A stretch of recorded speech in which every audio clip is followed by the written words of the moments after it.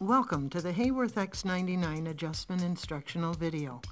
This video demonstrates all available features of the X99 chair line. Please keep in mind, your specific chair may not be equipped with every feature highlighted.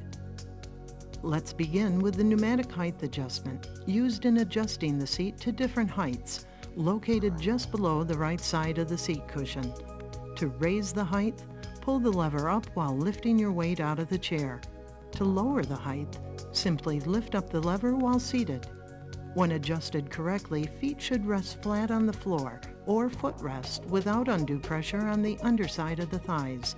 The thigh to torso angle should be 90 degrees or more. Seat depth adjustment.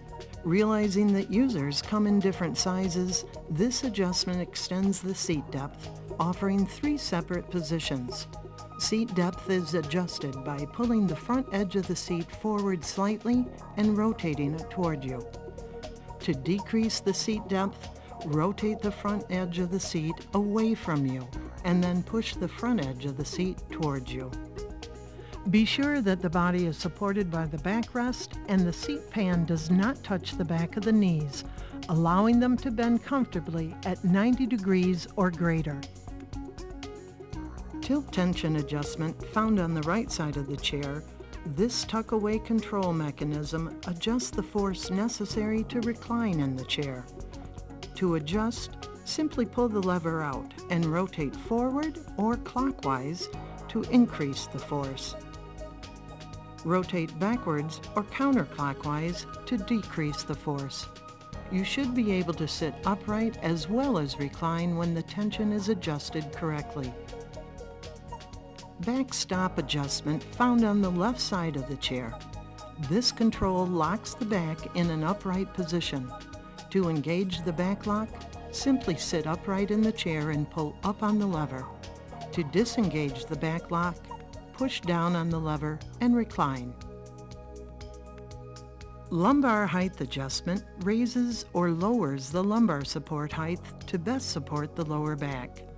For Meshback X99 chairs, reach behind and raise or lower the lumbar support to adjust the lumbar height. For upholstered back X99 chairs, raise or lower the grips on the chair.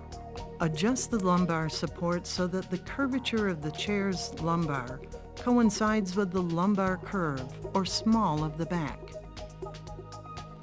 Lumbar depth adjustment allows for the adjustment of the depth of the lumbar support. For Meshback X99 chairs, reach behind and rotate the knob clockwise to increase the lumbar depth. To decrease the depth, rotate counterclockwise. For upholstered back X99 chairs, increase lumbar depth by pumping the lower right lever for added support.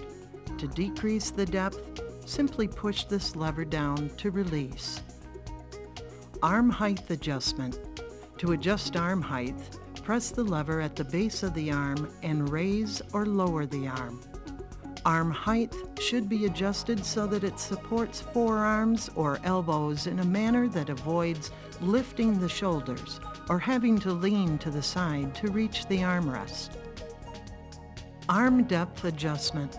To adjust the arm cap depth, firmly grasp the arm cap and slide front to back. This adjustment allows you to get closer to your work surface while maintaining effective use of the armrest and back support.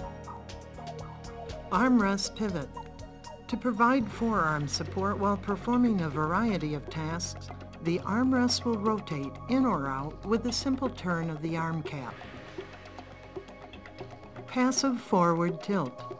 X99 is equipped with a passive forward tilt system. To engage this feature, simply lean forward while seated in the chair. These adjustments have been designed to enhance your comfort, productivity, and overall well-being. Your Haworth X99 chair can be readjusted as these factors dictate throughout your workday.